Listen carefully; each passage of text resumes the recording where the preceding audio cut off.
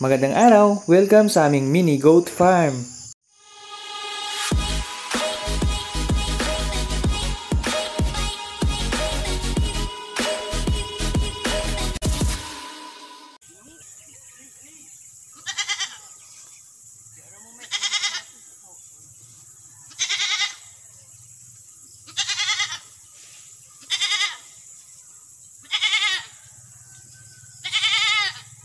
Dahing pustulan na naman po ang ating mga kambing. Iyak na iyak yung ating baby kambing. Siguro naiwanan na kanyang ina. Siguro nauna na yung nanay niya dyan.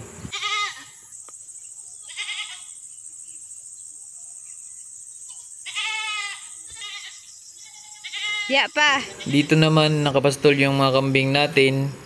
Uh, hahayaan lang sila dyan ng halos isang araw. At pagkagabi na ay binabalik na natin sila dun sa kanilang bahay para hindi sila mahamugan tsaka hindi sila malamigan. O kaya ay hindi sila mabasa. Kung umulan man kasi ang pinakakalaban ng mga kambing ay yung lamig. Doon sila nagkakasakit kasi na-stress sila doon sa lamig ng panahon. Kaya madalas yung mga nanganganak na kambing uh, yung mga baby nila madalas pagkatag-ulan nagkakasakit kaya kapag may pinanganak kaming kambing, lalo na pag bandang tag-ulan na, talagang nagbabitamins talaga kami para sigurado na medyo lumakas yung resistensya nila. Dagdagan yung tibay nila. Kaya may program din yung government dyan na dapat yung mga kambing natin, mga anak sila ng summer o hindi tag-ulan. Meron dyang calendar para kung kailan mo dapat pababahan yung iyong kambing at kung kailan hindi dapat sila mababahan. Kaya isa rin sa dahilan yon na sinasuggest ng mga nagsiseminar na dapat nakahiwalay yung mga lalaking kambing natin doon sa inahin para makontrol natin kung kailan dapat magbuntis yung mga inahing kambing natin. At bukod doon ay para maiwasan na rin yung inbreeding doon sa ating mga laga.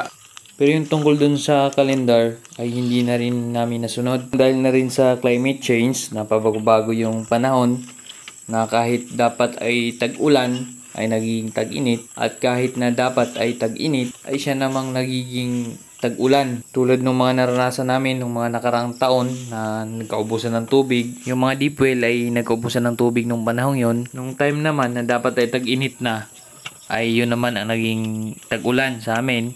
Kaya dapat nating alagaan ang ating environment. Ito namang bulugan namin, sinasama pa rin namin dyan sa kanila. Kasi parang kawawa tingnan eh kung mag-isa lang siya. Kaya nilalagay na muna namin dyan, sinama namin.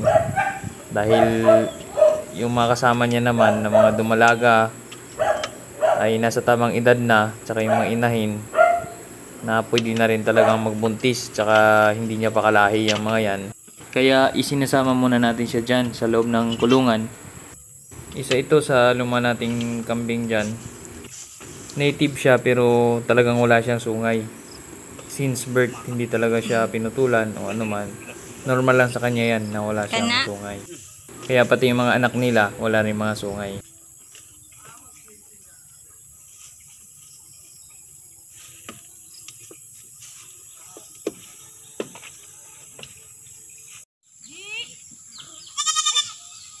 Ito naman kambing na malapit sa video.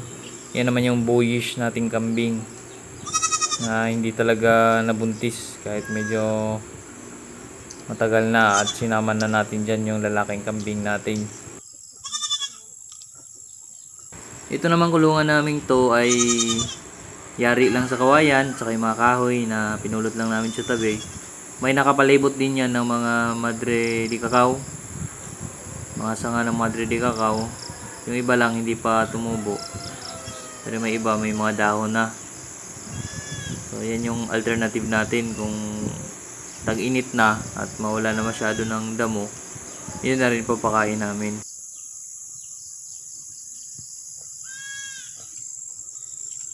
Ayan, nilalagyan din namin dyan ng konting mga dahon-dahon. Tulad yan, dahon ng niyog. Pero may nakapagsabi, may nag-comment sa atin dito na yung dahon ng niyog daw, hindi mabilis matunaw. Kaya medyo magbabawas na rin tayo sa paglalagay dyan ng mga dahon ng niyog. Ah, imbis na dahon ng niyog, yung mga dahon na lang ng mangga, saka yung mga Madre de cacao, yun na lang ang ibibigay muna natin. Yung mga damo-damo natin dyan sa loob ng kanilang kulungan, medyo paubos na rin. Kasi lagi lang binabalik-balikan pag nandyan sila. Kaya marami pa tayong dapat ayusin din dito sa ating mini farm. Kasi isa rin yan sa sinasuggest ng mga seminars ng government na dapat yung mga kambing hindi pabalik-balik doon sa kanilang ah, pinagkainan o pinipwestohan kasi pwedeng magkaroon ng mga bulate na may sanhi na magpapayat sa kanila. Kasi kung dyan sila kumakain, dyan sila pumupupo, mula doon sa pupo nila, may mabubuo doon ng mga bulate. At kung mabuo yung bulate, akit yun sa mga damo at baka daw makain nila. Kaya isa rin sa target nating i-improve yung bahay ng kambing natin. Pagka medyo may budget na, papaayos natin yan. Isasarado natin yan, tapos palalakihan natin. Tapos yung kanyang space mula doon sa lupa ay dapat nasa 1 meter yung elevation doon sa standard na bahay ng kambing na sinasuggest ng mga seminars. Tapos kailangan dyan yung may space yung flooring para yung mga dumi ng kambing malalaglag na lang ng kusa at hindi nila maamoy. Itong ano kasi itong pabahay namin na ginawa yung unang space yan sa may bandang kanan medyo maliit mga dalawang metro pa lang yung haba nun ang ginawa namin. Yan may space yung flooring. Kaya lang lumulusot yung paa. Kaya nung dinugtungan na medyo nilapit na ni Papa yung spacing. Kaya lang yung mga dumi hindi na kusang nalalaglag ang ginagawa na lang lagi na lang siyang nililinis.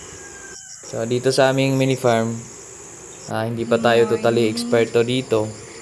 Dahan-dahan pa din nating inaayos to dahan-dahan din tayo nag-aaral dito. Inaaral pa natin yung mga ano pang pwede nating gawin para mag-improve yung ating housing. Nag-aaral tayo based dun sa experience saka sa pagtatry natin.